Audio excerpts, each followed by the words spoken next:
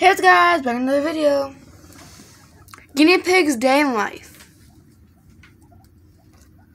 As you can see, This one is Lenny. Coming up to the camera. His name is Lenny.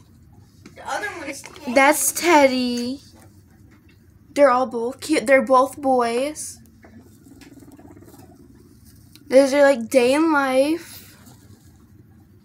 We just gave them some fresh hay. Yeah, and they have a couple little houses. They have a water bottle. Their cage. My little Lenny is right here. Yeah. And Teddy is mine, and Lenny is hers. Yeah.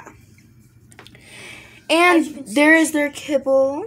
As you can see, Lenny is eating right now. Yeah, and Teddy is in the blue house. And my guinea pig Lenny, he has red eyes, but he is not blind. He can see perfectly fine. So yeah. They're eating their hay.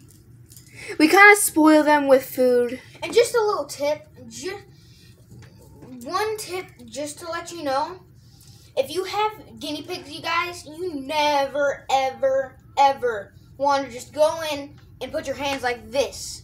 They'll And- think it's a bird. Yeah, you don't want to do that. And when you pet them, don't touch them on their booty or their butt, because they'll think that's it's that's it's a bird and they're like trying to pick them up. So don't ever like when you pet them, pet them on their head. No, that doesn't not. That's not what it means. It means it's dominance. There's- Yeah. It means like something's trying to dominate it. Yeah. And I'm sorry guys if that's not the perfect view because the cage. So yeah, day in life. And just to let you know, here's inside of the cage. Yeah. So we got Teddy. We got Lenny. Hello, buddy. Have a buzz. This might be a little short video, just like a guinea pig's day in life. If you guys want this to be a series, just um like the video and make sure to subscribe. And And get this video um 50 views and 50 likes and every like for the guinea pigs so they be loved.